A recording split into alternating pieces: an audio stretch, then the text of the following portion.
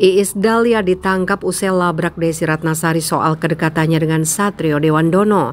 Desi Ratnasari disebut tengah dekat dengan suami Iis Dahlia itu Satrio Dewandono. Iis Dahlia bahkan melabrak Desi Ratnasari karena telah memacari Satrio Dewandono dan menggandeng tangannya di sebuah acara konferensi pers.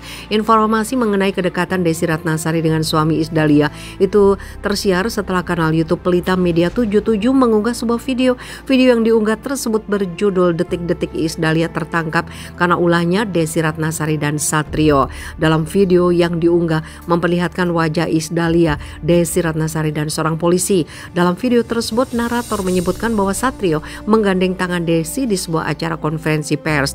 Narator mengatakan bahwa Iis langsung datang ke kampung halaman Desi di Sukabumi, Jawa Barat untuk melabraknya sambil membawa awak media. Narator menyebutkan bahwa Desi marah dengan tindakan Iis hingga melaporkannya ke kepolisian. Namun hingga akhir video tidak ada tayangan atau pernyataan valid yang menyebutkan Satrio memegang tangan Desi. Iis yang melabrak Desi ke Sugabumi atau Desi yang melaporkan Iis ke kepolisian. Berdasarkan penelusuran tim Suara Bandung, apa yang dinarasikan dan ditayangkan oleh kanal YouTube Pelita Media 77 tidaklah benar alias hoax. Dalam video yang diunggah tidak ada pernyataan atau tayangan valid yang menyebutkan hal yang disebutkan oleh narator.